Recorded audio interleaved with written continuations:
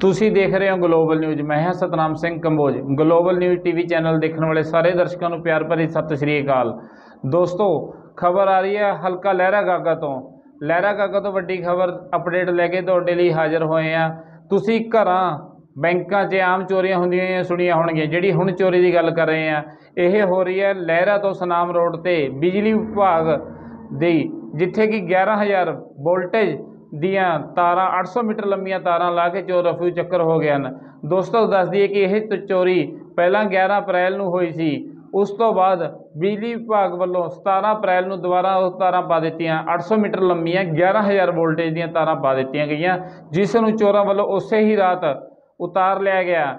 ਇੰਨੀ ਜਿਸ ਵਿੱਚ ਬਿਜਲੀ ਵਿਭਾਗ ਦਾ 5 ਲੱਖ ਤੋਂ ਵੱਡਾ ਨੁਕਸਾਨ ਹੋਇਆ ਹੈ। ਇਸ ਸੰਬੰਧੀ ਜਾਣਕਾਰੀ ਦਿੰਦਿਆਂ ਕਿਸਾਨ ਆਗੂਆਂ ਨੇ ਦੱਸਿਆ ਕਿ ਬਿਜਲੀ ਵਿਭਾਗ ਦੀ ਨਾ ਚੋਰੀਆਂ ਜੋ ਪੁਲਿਸ ਐੱਫ ਆਈ ਆਰ ਲਿਖਦੀ ਹੈ ਉਹ ਇੱਕ ਖਾਲੀ ਸਾਬਤ ਹੁੰਦੀਆਂ ਨੇ।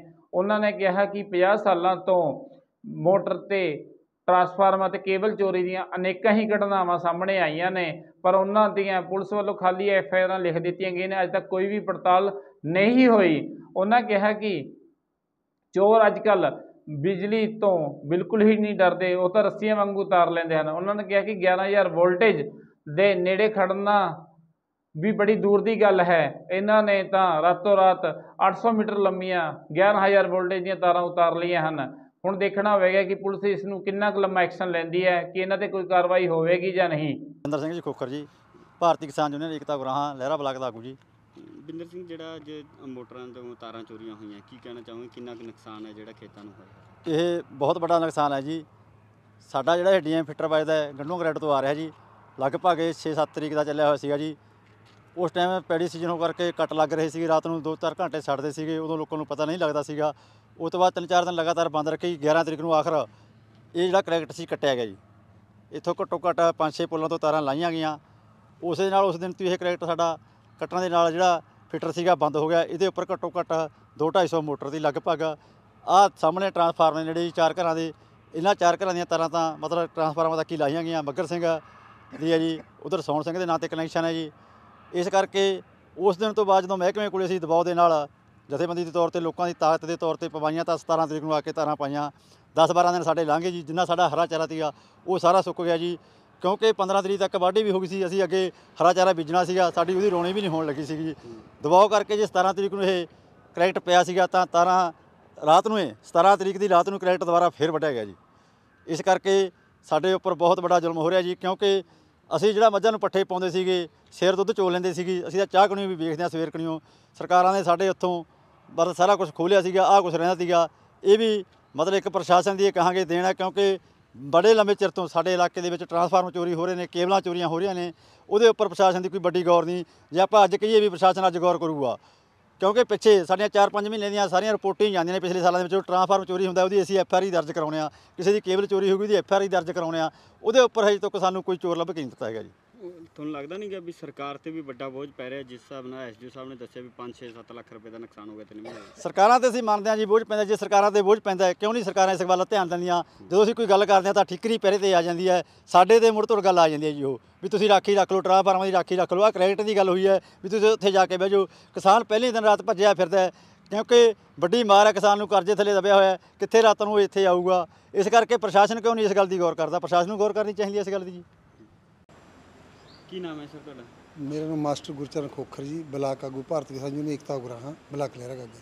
ਮਾਸਟਰ ਕੀ ਕਹਿਣਾ ਚਾਹੁੰਦੇ ਹੋ? ਅੱਜ ਚੋਰੀ ਹੋਈ ਹੈ ਤੁਹਾਡੇ ਪਿੰਡ ਦੇ ਵਿੱਚ ਵੱਡੀ ਪੱਧਰ ਤੇ ਜਿਹੜੇ ਹੈਗੇ ਟਰਾਂਸਫਾਰਮਰ ਦੀਆਂ ਤਾਰਾਂ ਚੋਰੀਆਂ ਹੋਈਆਂ ਮੇਨ ਤਾਰਾਂ ਚੋਰੀਆਂ ਕਿੰਨਾ ਕੁ ਨੁਕਸਾਨ ਜਿਹੜਾ ਹੈਗਾ ਆਪਣੇ ਕਿਸਾਨ ਦਾ? ਸਾਡਾ ਨੁਕਸਾਨ ਪਿੰਡ ਦਾ ਬਹੁਤ ਜ਼ਿਆਦਾ ਹੋ ਰਿਹਾ ਜੀ।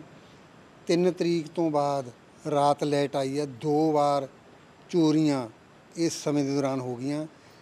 ਤੇ ਆਹ ਦੇਖ ਸਾਡੇ ਪਸ਼ੂ ਤੇ ਸਾਡਾ ਹਰਾ ਚਾਰਾ।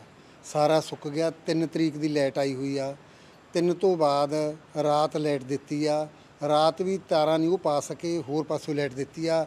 ਜਿੱਥੋਂ ਤਾਰਾਂ ਕੱਟੀਆਂ ਨੇ, ਉੱਥੇ ਉਹ ਤਿੰਨ ਚਾਰ ਮੋਟਰਾਂ ਖੜੀਆਂ ਹਲੇ ਵੀ। ਇਸ ਕਰਕੇ ਕਣਕ ਦਾ ਝਾੜ ਪਹਿਲਾਂ ਹੀ ਬਹੁਤ ਘੱਟ ਆ ਜੀ।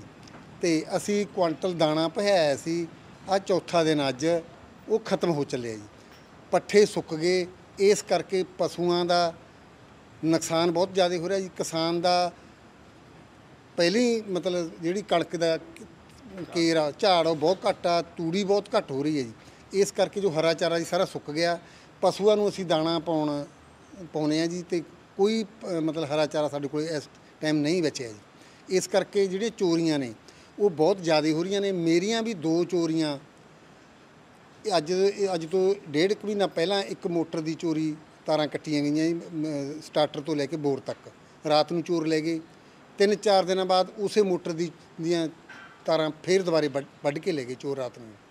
ਤੇ ਆ ਹੁਣ ਜਿੱਦੇ 16 ਤਰੀਕ ਨੂੰ ਚੋਰੀ ਹੋਈ ਆ 16 ਨੂੰ ਹੋਈ ਹੈ ਖਮੀ ਇੱਕ ਦਿਨ? 11 11 ਨੂੰ। ਚੋਰੀ ਹੋਈ ਹੈ ਜੀ। ਜਿੱਦੇ ਆਪਣਾ ਤਾਰਾਂ ਵੱਢੀਆਂ ਨੇ ਬਿਜਲੀ ਬੋਰਡ ਦੀਆਂ ਜੀ। ਉਸੇ ਰਾਤ ਨੂੰ ਮੇਰੀਆਂ ਦੋ ਮੋਟਰਾਂ ਨੇ ਜੀ।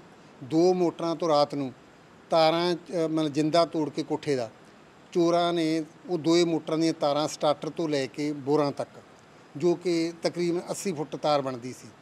ਉਹ ਵੱਡੀਆਂ ਨੇ ਵੱਢ ਕੇ ਲੈ ਗਏ ਦੋ ਕਈਆਂ ਚੋਰੀ ਕਰਕੇ ਲੈ ਗਏ ਚਾਰ ਖੁਰਪੇ ਲੈ ਗਏ ਜੀ ਚਾਰ ਦਾਤੀਆਂ ਚੋਰੀ ਕਰਕੇ ਲੈ ਗਏ। ਕੁੱਲ ਮਿਲਾਈ ਗੱਲ ਕਰੀਏ ਤੁਹਾਡੇ ਏਰੀਆ ਦੇ ਵਿੱਚ ਬਹੁਤ ਜ਼ਿਆਦਾ ਚੋਰੀਆਂ ਹੋ ਰਹੀਆਂ। ਕਿੰਨੀਆਂ ਕੁ ਲਗਭਗ 3 ਮਹੀਨੇ ਦੀ ਗੱਲ ਕਰੀਏ ਕਿੰਨੀਆਂ ਕੁ ਚੋਰੀਆਂ ਹੋਈਆਂ ਤੇ ਹੁਣ ਤੱਕ ਪੁਲਿਸ ਕਿੱਥੇ ਕਿ ਤੱਕ ਪਹੁੰਚੀ ਹੈਗੀ? ਪੁਲਿਸ ਨੇ ਚੋਰੀਆਂ ਤਾਂ ਅਣਗਿਣਤ ਹੋਈਆਂ ਜੀ। ਅਸੀਂ ਮਤਲਬ ਗਿਣਤੀ 'ਚ ਨਹੀਂ ਆ ਸਕਦੇ ਇੰਨੀਆਂ ਚੋਰੀਆਂ ਹੋਈਆਂ ਜੀ। ਤੇ ਤਕਰੀਬਨ ਪੁਲਿਸ ਨੇ ਇੱਕ ਵੀ ਚੋਰੀ ਹਾਲ ਤੱਕ ਟਰੇਸ ਨਹੀਂ ਕੀਤੀ ਜੀ।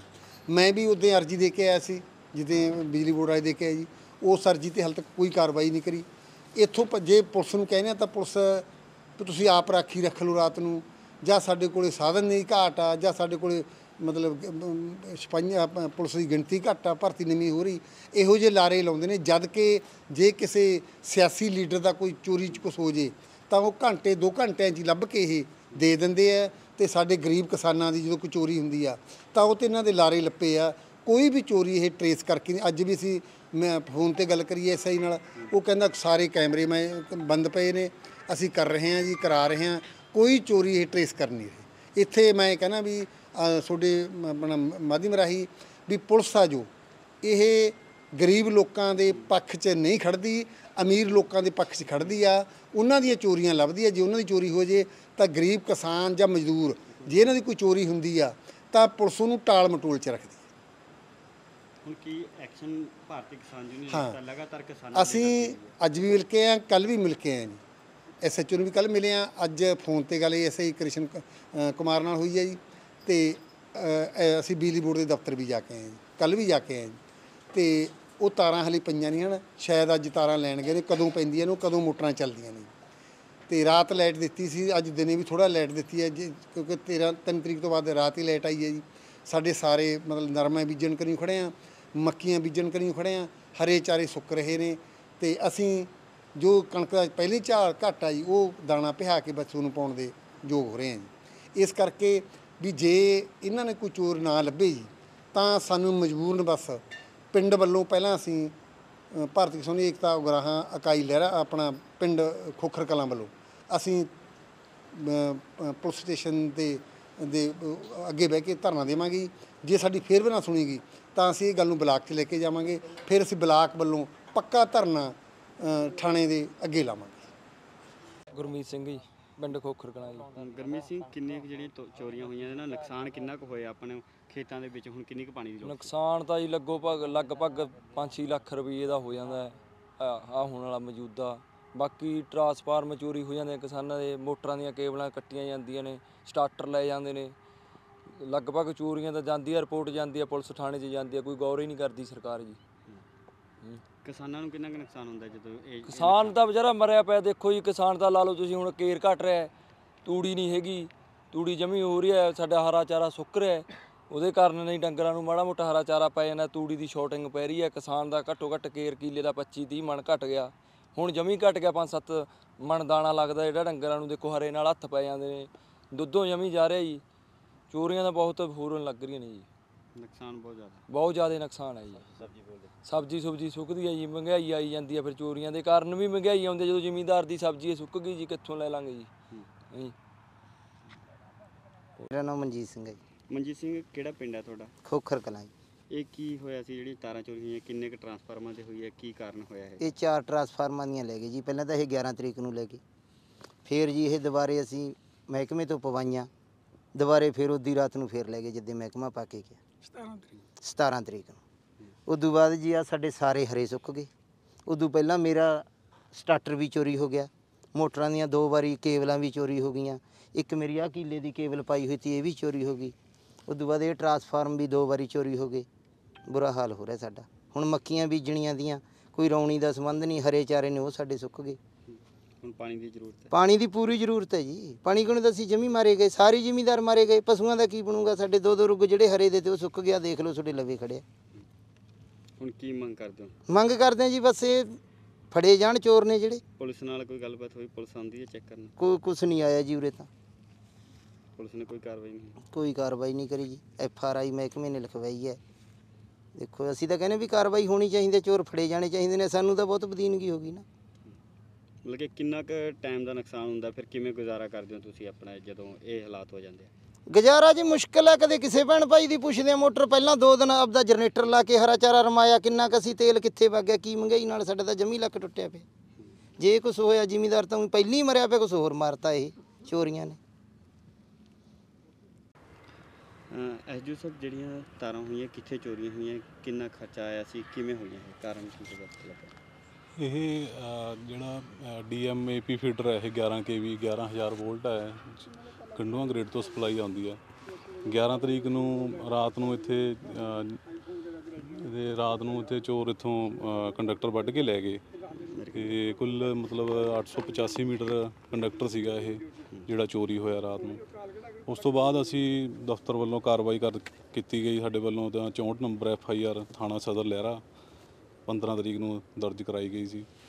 ਤੇ ਜਦੋਂ ਉਸ ਤੋਂ ਬਾਅਦ ਸਟੋਰ ਚੋਂ ਸੰਗਰੂਰ ਤੋਂ ਅਸੀਂ ਕੰਡਕਟਰ ਕਢਵਾਇਆ, ਦੁਬਾਰਾ ਸਪਲਾਈ ਚਾਲੂ ਕਰਨ ਲਈ, ਤਾਂ ਅਸੀਂ 17 ਤਰੀਕ ਨੂੰ ਇੱਥੇ ਕੰਡਕਟਰ ਪਾ ਕੇ ਅਸੀਂ ਸਪਲਾਈ ਚਲਵਾਉਣੀ ਸੀ ਰਾਤ ਨੂੰ। ਤਾਂ ਉਹ ਰਾਤ ਨੂੰ ਸਪਲਾਈ ਚੱਲਣ ਤੋਂ ਪਹਿਲਾਂ ਹੀ ਉਸੇ ਦਿਨ ਹੀ ਫੇਰ ਚੋਰੀ ਹੋ ਗਿਆ ਇਹ ਰਾਤ ਨੂੰ।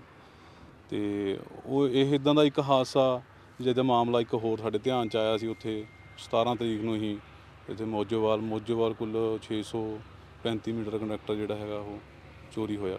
ਕਿੰਨੀ ਕੁ ਅਹ, ਜਿਹੜੀ ਅਮਾਉਂਟ ਹੈ ਆਪਾਂ ਇਹ ਕੇਬਲ ਦੀ? ਇਹ ਕੁੱਲ ਅ, ਜਿਹੜੀ ਹੈਗੀ ਹੈ ਇਹ ਅ, ਕੁੱਲ ਤਿੰਨ ਜਿਹੜੇ ਤਿੰਨ ਕੇਸ ਹੋ ਗਏ। ਇਹ ਤਿੰਨ ਕੇਸਾਂ 'ਚ ਕੁੱਲ 50000 ਦੇ ਲਗਭਗ ਜਿਹੜਾ ਹੈਗਾ ਮਟੀਰੀਅਲ ਚੋਰੀ ਹੋਇਆ ਇਹ। ਇੱਕ ਤੇ ਕੇਸ ਦਾ 50000 ਰੁਪਏ ਨਹੀਂ ਤਿੰਨੋਂ ਕੇਸਾਂ ਦਾ। ਇੱਕ ਜ- ਕੇਸ ਦਾ ਜਿਹੜਾ ਹੈਗਾ ਇੱਕ ਕੇਸ ਦਾ ਇਹਦਾ ਜਿਹੜਾ ਹੈਗਾ ਪੈਂ- 35000 ਹੋਇਆ ਚੋਰੀ ਤੇ ਉਹ ਜਿਹੜਾ ਮੌਜੂ ਵਾਲਾ ਉਹਦਾ ਉਹ 20000 ਦੇ ਲਗਭਗ ਉਹ ਚੋਰੀ ਹੋਇਆ ਅਹ, ਹੁਣ ਤੱਕ ਕਿੰਨੀਆਂ ਕੁ 3 ਮਹੀਨਿਆਂ ਦੀ ਜੇ ਗੱਲ ਕਰੀਏ 3 ਮਹੀਨਿਆਂ 'ਚ ਕਿੰਨੀਆਂ ਕੁ ਚੋਰੀਆਂ ਜਿਹੜੀਆਂ ਹੋ ਚੁੱਕੀਆਂ ਕੀ ਕੀ ਜਿਹੜੀਆਂ ਚੀਜ਼ਾਂ ਜਿਹੜੀਆਂ ਚੋਰੀ ਕਰਦੇ ਨੇ ਚੋਰ ਕਿਉਂਕਿ ਲਗਾਤਾਰ ਚੋਰੀਆਂ ਵੱਧ ਰਹੀਆਂ ਖੇਤਾਂ ਦੇ ਵਿੱਚ ਸੀਜ਼ਨ ਦਾ ਸਮਾਂ ਹੁੰਦਾ ਹੈ ਉਸ ਸਮੇਂ ਬੜੀ ਪਰੇਸ਼ਾਨੀ ਦਾ ਸਾਹਮਣਾ ਕਰਨਾ ਪੈਂਦਾ ਹੈ। ਜਿਹੜੀ ਹੁਣ ਤੱਕ ਜਿਹੜਾ ਹੈਗਾ ਇਹ ਤੇ ਪਿਛਲੇ 3 ਮਹੀਨਿਆਂ ਚ ਵੱਖ-ਵੱਖ ਜਿਹੜੇ ਪਿੰਡਾਂ ਚ ਸਾਡੇ ਟਰਾਂਸਫਾਰਮਰ ਜਿਹੜੇ ਹੈਗੇ ਨੇ ਅ, ਚੋਰੀ ਹੁੰਦੇ ਰਹੇ ਨੇ ਇਹ ਮਤਲਬ ਸਮੇਂ-ਸਮੇਂ ਸਿਰ ਦਫ਼ਤਰ ਵੱਲੋਂ ਐਫ ਆਈ ਆਰ ਵੀ ਦਰਜ ਕਰਵਾਈ ਜਾਂਦੀ ਹੈ। ਤੇ ਇਹ ਮਾਮਲੇ ਕੁੱਲ ਸਾਡੇ ਪਿਛਲੇ 3 ਮਹੀਨਿਆਂ ਚ ਕੁੱਲ 17 18 ਕੇਸ ਸਾਡੇ ਜਿਹੜੇ ਧਿਆਨ ਚ ਸੀਗੇ, ਜਿਹੜੇ ਮਤਲਬ ਜਿਹੜੇ ਚੋਰੀ ਟਰਾਂਸਫਾਰਮਰ ਜਿਹੜੇ ਚੋਰੀ ਹੋਏ ਨੇ। ਤੇ ਕੁੱਲ 5 ਲੱਖ ਦੇ ਕਰੀਬ ਜਿਹੜੀ ਹੈਗੇ ਆ ਮਟੀਰੀਅਲ ਜਿਹੜਾ ਹੈਗਾ, ਦਾ ਨੁਕਸਾਨ ਹੋਇਆ ਮਹਿਕਮੇ ਨੂੰ। ਜੇ ਆਪਾਂ ਕੀਮਤ ਦੀ ਗੱਲ ਕਰੀਏ ਟਰਾਂਸਫਾਰਮ ਕਿੰਨੇ ਕੁ ਅਮਾਉਂਟ ਦਾ ਹੁੰਦਾ, ਜਿਹਦੇ ਵਿੱਚੋਂ ਕ- ਤੇਲ ਲੈ ਜਾਂਦੇ ਨੇ ਕੱਢ ਕੇ? ਜਾਂ ਉਹਨਾਂ ਇਹ ਜਿਵੇਂ ਕੁੱਲ ਇਹ ਅ, ਸਤਾ- ਅ, 16 ਕੇਵੀ ਦਾ ਜੇ ਟਰਾਂਸਫਾਰਮਰ ਹੈਗਾ ਤਾਂ ਉਹ ਅੰਦਾਜ਼ਨ ਉਹਦੀ ਜਿਹੜੀ ਡੈਪਰੀਸ਼ੀਏਸ਼ਨ ਵੈਲਿਊ ਕੱਟ ਕੇ ਇਹ 23 24000 ਦਾ ਜਿਹੜਾ ਨੁਕਸਾਨ ਹੋ ਜਾਂਦਾ ਹੈ ਜਦੋਂ ਕਿਸਾਨ ਤੁਹਾਨੂੰ ਇਹ ਜੀ ਇਨਫੋਰਮੇਸ਼ਨ ਲੈ ਕੇ ਆਉਂਦਾ ਹੈ ਵੀ ਚੋਰੀ ਹੋ ਗਿਆ ਤਾਂ ਉਸ ਤੋਂ ਬਾਅਦ ਤੁਹਾਡਾ ਕਿੰਨਾ ਕੁ ਚਿਰ ਦਾ ਪ੍ਰੋਸੈਸ ਹੈਗਾ? ਕਿੰਨਾ ਕੁ ਨੁਕਸਾਨ ਦਾ ਸਾਹਮਣਾ ਕਰਨਾ ਪੈਂਦਾ ਹੈ ਉਸ ਤੋਂ ਬਾਅਦ ਅਸੀਂ ਤੁਰੰਤ ਜਦੋਂ ਮੌਕੇ ਤੇ ਅਸੀਂ ਜੇਈ ਨੂੰ ਭੇਜਦੇ ਹਾਂ ਮੌਕਾ ਦੇਖ ਕੇ ਫਿਰ ਉਸ ਤੋਂ ਬਾਅਦ ਰਿਪੋਰਟ ਕਰਵਾ ਕੇ ਅਸੀਂ ਪੁਲਿਸ ਨੂੰ ਇੰਟੀਮੇਟ ਕੀਤਾ ਜਾਂਦਾ ਰਿਟਨ ਚ ਉਹਨਾਂ ਵੱਲੋਂ ਲਿਖਤੀ ਫਿਰ ਉਹਨਾਂ ਵੱਲੋਂ ਐਫ ਆਈ ਆਰ ਵਗੈਰਾ ਕੱਟੀ ਜਾਂਦੀ ਆ ਉਹ- ਉਹਦੇ ਬੇਸ ਤੇ ਫਿਰ ਐਸਟੀਮੇਟ ਬਣਾਇਆ ਜਾਂਦਾ ਫਿਰ ਐਸਟੀਮੇਟ ਪਾਸ ਹੁੰਦਾ ਉਹ ਫਿਰ ਉਸ ਤੋਂ ਬਾਅਦ ਕੋਈ 3 ਟਰਾਂਸਫਰ ਮਹੀਨਿਆਂ ਚ ਪੁਲਿਸ ਨੇ ਕੋਈ ਕਾਰਵਾਈਆਂ ਕੀਤੀਆਂ? ਕੋਈ ਚੋਰ ਫੜੇ ਗਏ ਨੇ ਨਹੀਂ ਜੀ? ਉਸ- ਹਾਲ ਤੱਕ ਤਾਂ ਸਾਡੇ ਧਿਆਨ 'ਚ ਕੋਈ ਵੀ ਕੇਸ ਇਹੋ ਜਿਹਾ ਨਹੀਂ ਲਿਆਂਦਾ ਗਿਆ ਉਹ ਐਸਡੀ ਸਾਹਿਬ ਬਿਜਲੀ ਬੋਰਡ ਨੇ ਮਾਮਲਾ ਦਰਜ ਕਰਵਾਇਆ ਹੈ ਐਪਲੀਕੇਸ਼ਨ ਦੇ ਕੇ ਤੇ 33000 ਰੁਪਏ ਦੇ ਕਰੀਬ ਤਾਰ ਚੋਰੀ ਹੋਈ ਹੈ। ਉਸ ਦੇ ਸੰਬੰਧ ਵਿੱਚ ਅਸੀਂ ਗਸਤ ਲਗਾਈ ਹੋਈ ਹੈ ਡੰਪ ਚੱਕ ਲਿਆ ਅਤੇ ਕੈਮਰੇ ਦੀ ਫੁਟੇਜ ਖੰਗਾਲ ਰਹੇ ਹਾਂ ਤੇ ਦੋਸ਼ੀਆਂ ਨੂੰ ਜਲਦੀ ਹੀ ਗ੍ਰਿਫਤਾਰ ਕਰਕੇ ਚਲਾਨ ਪੇਸ਼ ਅਦਾਲਤ ਕਰਾਂਗੇ। ਇਸ ਤਰ੍ਹਾਂ ਦੀਆਂ ਪਹਿਲਾਂ ਵੀ ਘਟਨਾਵਾਂ ਕਈ ਹੋਈਆਂ ਸੀ ਉਹ ਸਾਰੀਆਂ ਅਸੀਂ ਟਰੇਸ ਕਰ ਦਿੱਤੀਆਂ ਸੀ। ਇਸ ਨੂੰ ਵੀ ਜਲਦੀ ਟਰੇਸ ਕਰ ਦਾਂਗੇ। ਐਫ ਆਈ ਆਰ ਦਰਜ ਹੋ ਗਈ ਸਰ ਐਫ ਆਈ ਆਰ ਦਰਜ ਹੋਊਗੀ ਗਲੋਬਲ ਨਿਊਜ਼ ਦੇਖਣ ਲਈ ਧੰਨਵਾਦ ਸਤਿ ਸ੍ਰੀ ਅਕਾਲ।